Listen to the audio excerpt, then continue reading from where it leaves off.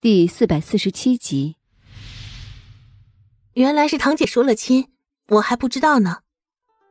白燕宇不想白鹤染同白真真被扯进来，不想那两人被人说了什么定了亲还要来百花会的话，于是主动找话转移了话题。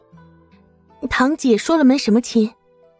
叶娇美没接这话，却是笑盈盈的问起他：“表妹可还认得姐姐我？”白燕宇赶紧点头。自然是记得的，然后停下来，冲着叶娇美施礼。燕雨见过叶小姐。叶娇美赶紧伸手扶人，表妹快别这样客气，咱们都是一家人，这样客气可就生分了。还有，我是表姐，你是我表妹，做什么要叫叶小姐？你应该叫我表姐才对啊！白燕雨简直郁闷，这叫什么一家人？你姓叶，我姓白，我跟你算哪门子的一家人？还说什么生不生分？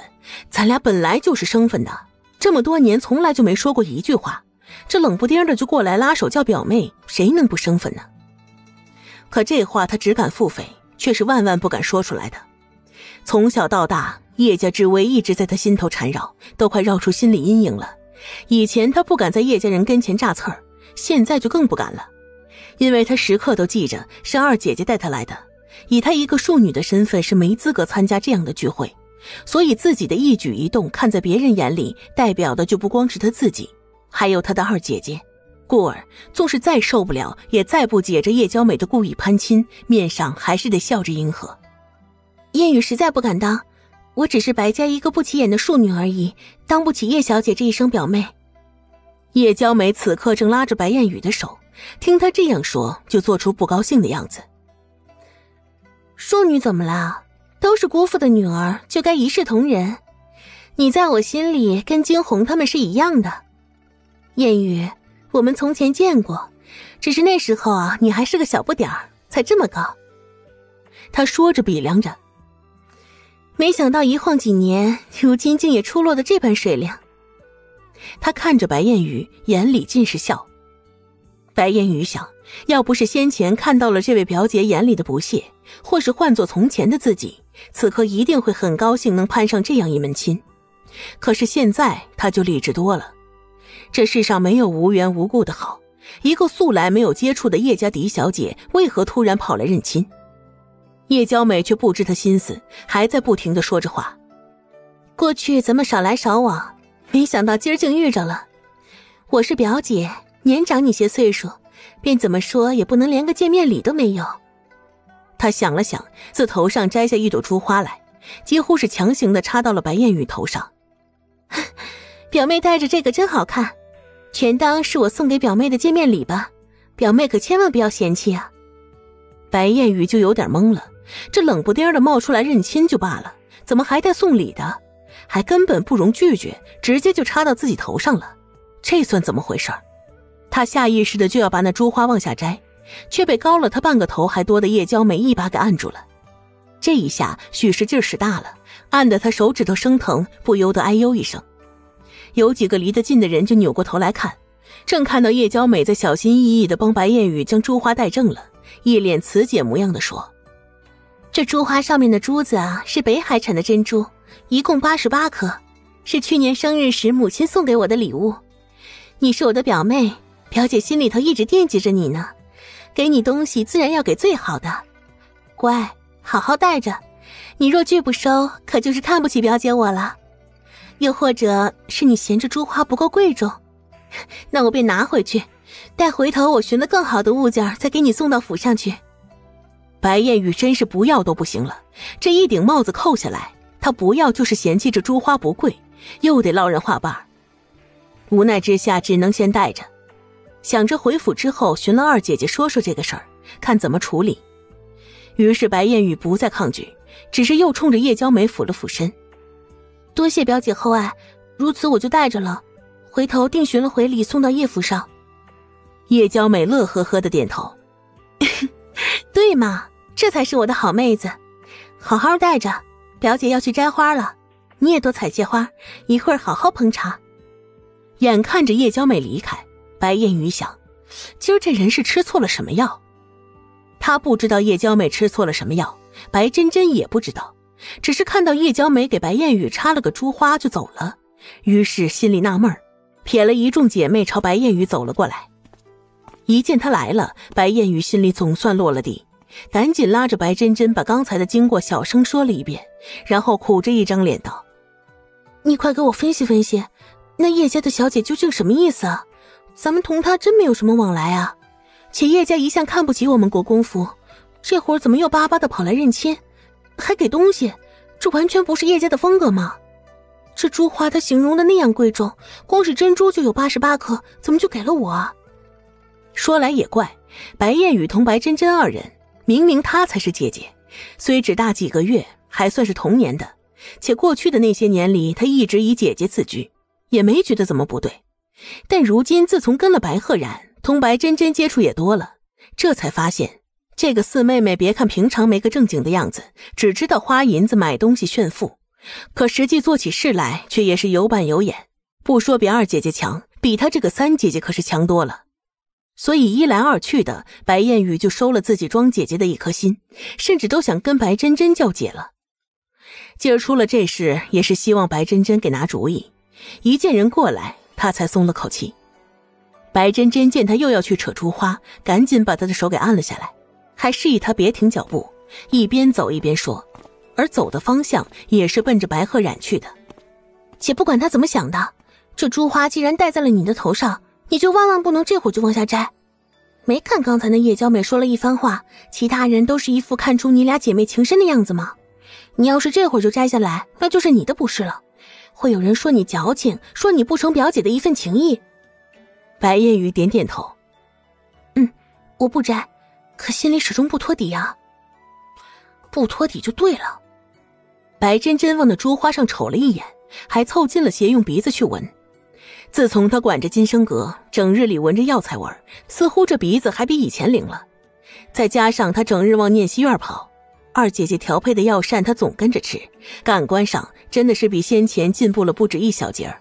这一闻就闻出问题来，好像这珠花有一股子甜味儿。闻着像是蜜，白夜雨却不太懂。她刚摘下来的时候，我也闻着挺香，但想着女孩子家家带的东西沾点香味也是正常的吧。以前我姨娘也总鼓捣些子香料，弄得满头满身都是。得了，别提你姨娘。白真真顶烦林姨娘整的那些香，洪氏说过，那可不是什么好香，是为了吸引男人注意的东西。这珠花上的香不一样，不是香，是甜。具体的我也说不清，咱们去问问二姐姐，万一有什么事也好让二姐姐拿个主意。两人一边说着话，一边奔白鹤染去了。而此时，白鹤染正在用指甲小心的掐着一截花枝，冷若楠在边上看着，劝着：“这些事情让丫鬟做不行吗？人人都知道好生护着指甲，偏偏就你一个不在意的，非要自己弄。我跟你说，女孩子的指甲要不护好了，可不好看。”白鹤染斜了他一眼，我又不指着这个找男人，好不好看能怎样？冷若男是服了。行了行了，知道你得了好亲事，用不着像我们这样每年折腾个百花会来展示自己，再得些好名气抬抬身价。你这种已经被人定下来的呀，最是有恃无恐。不过你那个三妹妹倒是挺抢手的，白家和叶家小辈之间的关系何时处的这般好了？白赫然冷哼：“好吗？只怕是黄鼠狼给鸡拜年，没安好心。”说完，转头去看走过来的两个妹妹，目光盯在白燕雨的珠花上，愈发冷凝。二姐姐，两人终于走到这边，却没直接说珠花的事。白真真乐呵呵的说：“我来帮你摘花，你也帮帮我。我是赏了半天，也不知道该摘哪一朵。”说着，便凑近了去。一边装模作样的摘花，一边小声道：“姐，看到三姐头上戴着的那串珠花没？我闻着有一股子甜味，像是蜜的味道。”白黑人点点头，人刚一走近，他就借着风闻着了，却也不急，只招呼白燕雨过来，一边翻看立春篮子里提着的花，一边将自己摘出来的几样又给添进去，这才道：“表姐给的，便安心带着。我瞅着这串珠花用的是上好的珍珠。”不比珍珍衣裳上缀着的那些差。白珍珍切了一声：“那叶娇美说是去年生辰收到的贺礼，很是当宝贝一样，也不过就是些跟我坠衣上的珠子一样，当谁稀罕？白燕玉听得啧舌，你是不稀罕，可这些珠子我别说戴了，从小到大，除非你经过我身边碰着了，否则我却是连摸都没摸过的。白真真切了声，切，想摸回去送你一匣子，让你摸个够。不过你脑袋上现在不是也有了吗？既然二姐姐说让你好好戴着，你别安心戴着就是。我瞧着那些珠子成色真不错，大小也匀称，应该能值个千八百两。白燕雨张大了嘴巴，值那么多？白真真又是一副没见过世面的眼神递过去。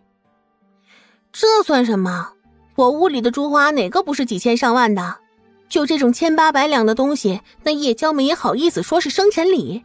他娘就给他这种玩意儿当生辰礼？这摆明了就是特地准备出来送人的。顿了顿，又道：“或者说，是准备出来害人的。”白燕雨的心又提了起来。带着真没事吗？害人是怎么个害法？该不会下毒吧？白鹤染实在听不下去这两人说话，开口道：“放心，没有毒，只不过进了花蜜。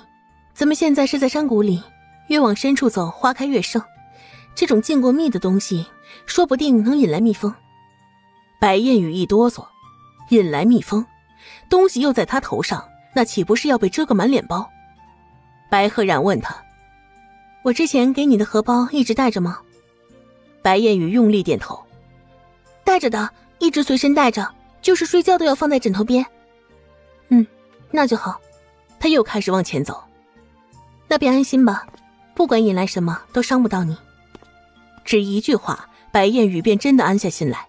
至于有没有蜜，引不引蜜蜂的，他反正是完全相信二姐姐。就算蜜蜂真来了也不怕。